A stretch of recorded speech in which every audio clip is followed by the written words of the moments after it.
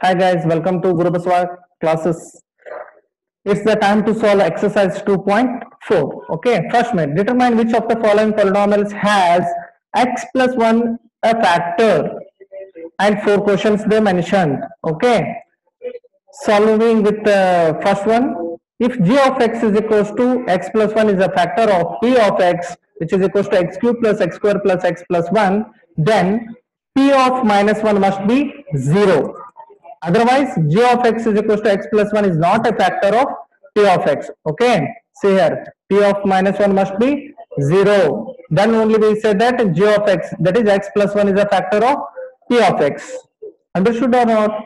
See the remainder should be 0 then only we say that x plus 1 is a factor of p of x by factor theorem. Okay? Uh, put in place of x minus 1 in the polynomial p of x is equals to x cube plus x square plus x plus 1 and we will get it as minus 1 whole cube plus minus 1 square plus into minus 1 plus 1 okay? Minus 1 whole cube is again minus 1 minus 1 whole square is plus 1 minus 1 into plus 1 is minus 1 plus 1 okay? Minus 1 plus 1 minus 1 plus 1 will get cancelled which is equals to 0 therefore p of minus 1 is equals to 0 it indicates what? G of x is equals to x plus 1 is a factor of the given polynomial p of x. Okay. Next i'll solve uh, fourth one. Let uh, p of x is equals to x cube minus x square minus of 2 plus root 2 into x plus root 2 okay. This one fourth one you consider it as the polynomial. And also g of x uh, already taken. That is x plus 1 now uh, g of x is equals to 0 means x is x is equals to minus 1 now put that one minus 1 in uh, the given polynomial what we will get see here p of minus 1 is equals to minus 1 whole cube minus into minus of 1 whole square minus 2 plus root 2 into minus 1 plus root 2 minus 1 whole cube is minus 1 minus into minus 1 whole square plus 1 minus into plus 1 again minus 1 minus of 2 plus root 2 into minus 1 minus into minus plus. Therefore 2 plus root 2 and last term is what? Plus root 2 okay. See here.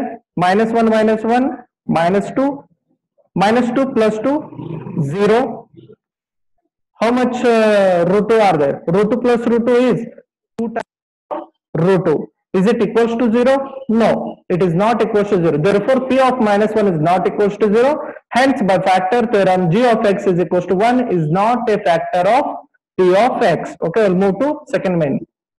Use the factor theorem to determine whether g of x is a factor of p of x in each of the following cases. Okay we have to use the factor theorem and we have to determine whether g of x is a factor of p of x or not. Okay divisor is a factor of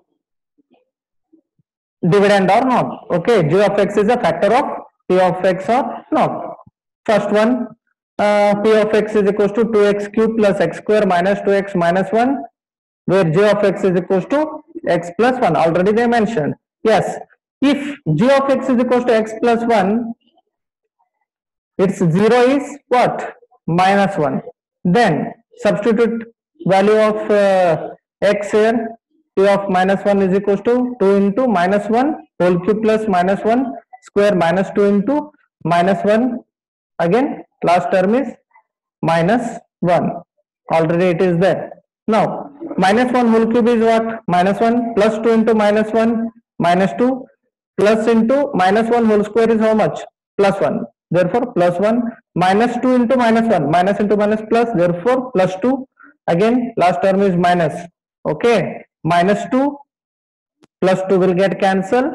1 minus 1 will get cancelled. Therefore we left with 0 hence by factor theorem g of x is equals to x plus 1 is a factor of p of x because p of minus 1 is equals to 0 is there. Therefore g of x is a factor of p of x. Okay? I'll solve third one now uh, let the given polynomial uh, consider it as of x is equal to x cube minus 4x square plus x plus 6 and uh, g of x is equal to x minus 3 which is the divisor. If uh, g of x is equal to x minus 3 then what about its zero? Its zero will become 3 okay? Why? Because g of x is equal to 0 transpose minus 3 to RHS part therefore x is equal to plus 3 will get. Now 0 is 3 then put x is equal to 3 LHS and RHS part of the given polynomial what will get? P of 3 is equal to 3 cube minus 4 into 3 square plus 3 plus 6 okay? 3 cube 3 we have to multiply 3 times because cube it is there.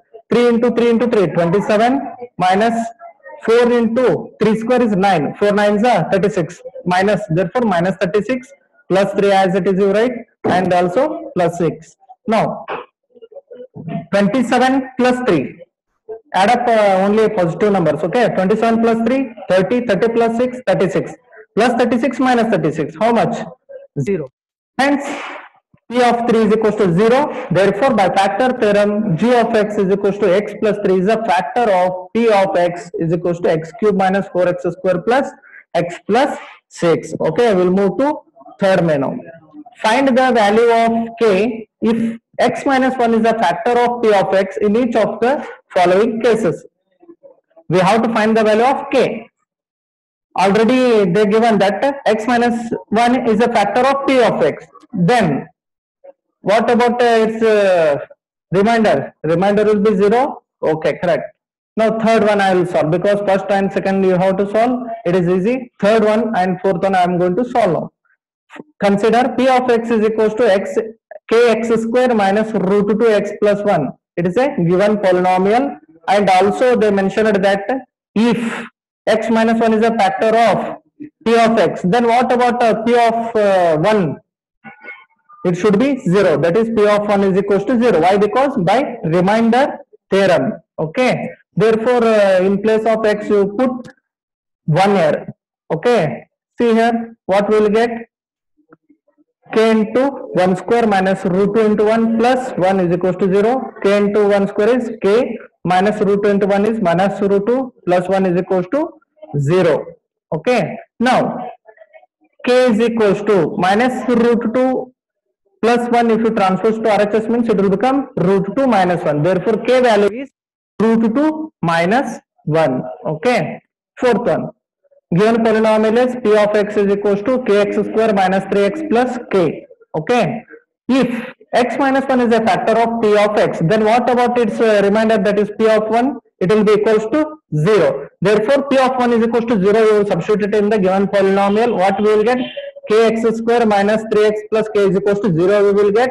And uh, x minus 1 is equals to 0 therefore transpose means x is equals to 1 we will get. Substitute the value of x is equals to 1 in the given polynomial that is k k into 1 square minus 3 into 1 plus k is equals to 0 therefore what we left with? K minus 3 plus k is equals to 0 k plus k is 2k if you transpose 3 to RHS part means it will become plus 3 again LHS part uh, 2k it is there. Therefore we have to transpose 2 to RHS part because we are finding the value of k. Okay it is free from the constant. Therefore transpose it to RHS part means we will get it as 3 by 2 therefore the value of k is 3 divided by 2 okay. This is of about uh, exercise uh, 4 point not uh, 4 point 2.4 first main second main third main which is based on factor theorem. Okay. And the last two mains that is fourth main and fifth main which is uh, related to